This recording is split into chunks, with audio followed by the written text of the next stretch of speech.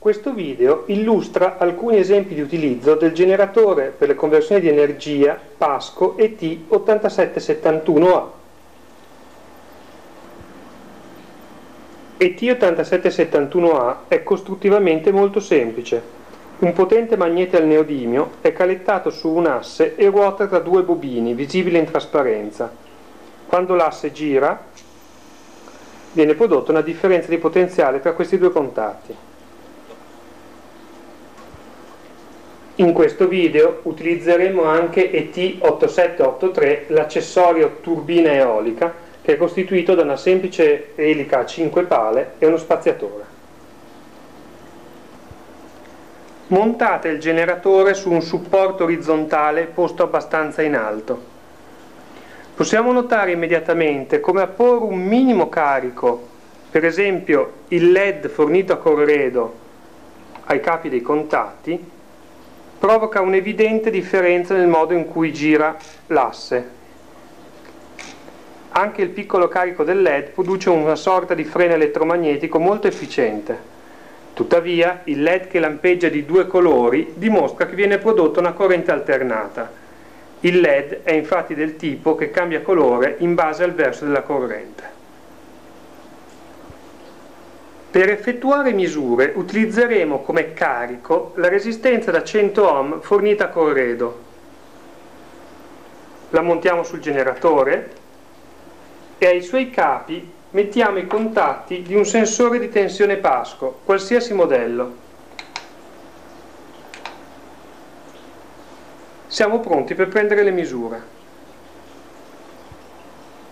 Se utilizzate un'interfaccia serie nera, dichiarate di collegare al primo canale il sensore di tensione. È in fondo alla lista, sensore di tensione. Ok. E impostate la frequenza di misura a 1000 misure al secondo. Chiudete la finestra per accettare. Se invece utilizzate un'interfaccia serie blu, appena collegate il sensore compaiono le misure di tensione e corrente, se state utilizzando un sensore tensione e corrente.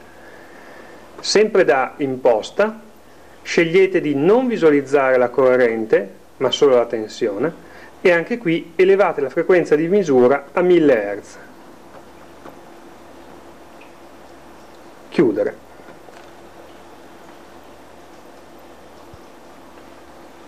Per misurare la potenza utilizzeremo la formula potenza uguale V quadro diviso R. Richiamate il calcolatore di Data Studio e digitate una formula che sia chiara per voi, per esempio pot, potenza, uguale a V elevato al quadrato, diviso R grande. Accetta. Data Studio vi chiede che cosa siano V ed R.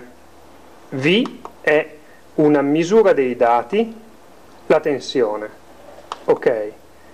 Mentre R è una costante e nel nostro caso vale 100. Le grandezze sono tutte SI, quindi avremo una potenza direttamente in watt. Accetta. Come primo esperimento esaminiamo la conversione di energia potenziale gravitazionale in energia elettrica.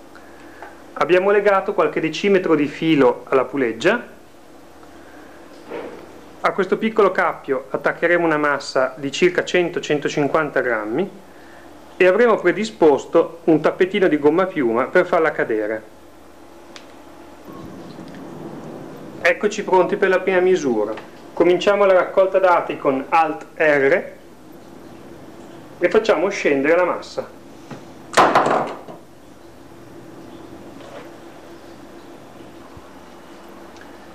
Vediamo i nostri dati.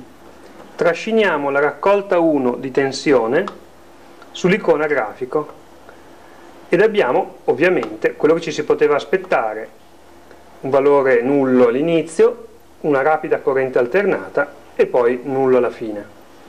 Con la lente di ingrandimento ingrandiamo la parte che ci interessa. Per un tempo molto breve, che possiamo leggere qua sotto, circa un secondo, sono stati sviluppati circa 5 volt. Vediamo la potenza.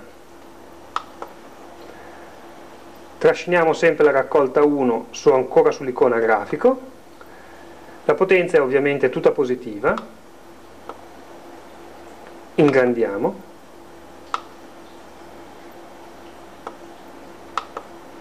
anch'essa ovviamente va, dal, va da valori positivi a 0 perché il magnete ha dei momenti in cui non produce potenza quando è parallelo alle bobine.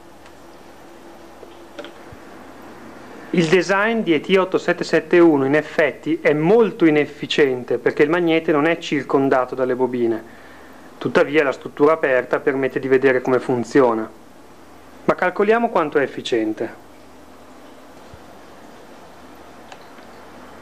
L'energia che ha sviluppato ovviamente è l'integrale che sta sotto la potenza. Tuttavia ci fa comodo avere la potenza espressa con più decimali e possibilmente in watt anziché con un generico y su questo grafico. Quindi facciamo doppio clic sulla nostra definizione di potenza e dalle proprietà scegliamo nome della variabile watt e come precisione 4 cifre. Ok, accetta. di nuovo ingrandiamo. E andiamo a scegliere dal tasto sigma di attivare anche l'area. Attiviamo le statistiche. E se le limitiamo alla zona dove è avvenuta la caduta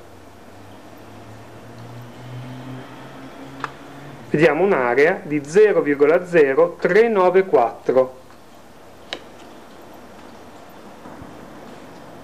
In un foglio elettronico abbiamo messo la massa utilizzata, 105 grammi, perché 100 grammi di massa più 5 di portamassa, sono caduti per 0,8 metri, quindi avevano un'energia potenziale MGH espressa in joule di 0,8232, abbiamo misurato 0,0394 che ci dà un'efficienza di poco inferiore al 5%.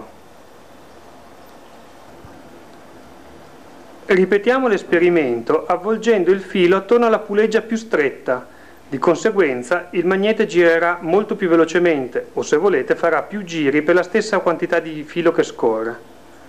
Raccogliamo e facciamo scendere.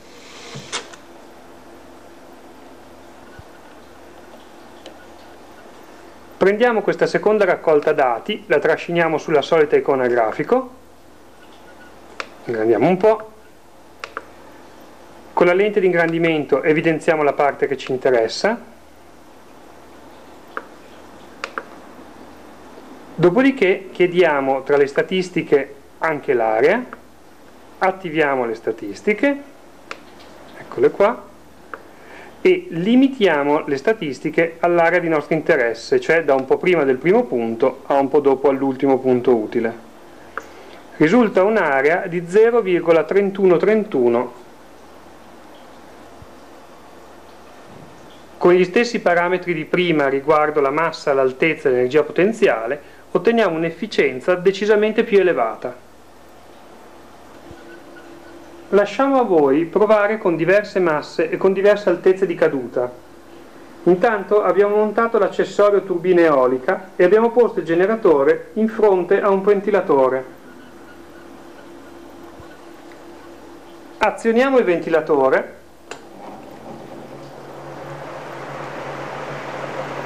e quando il sistema si è stabilizzato, dopo qualche secondo, incominciamo una breve raccolta dati. Ovviamente qui siamo in un regime sostanzialmente costante.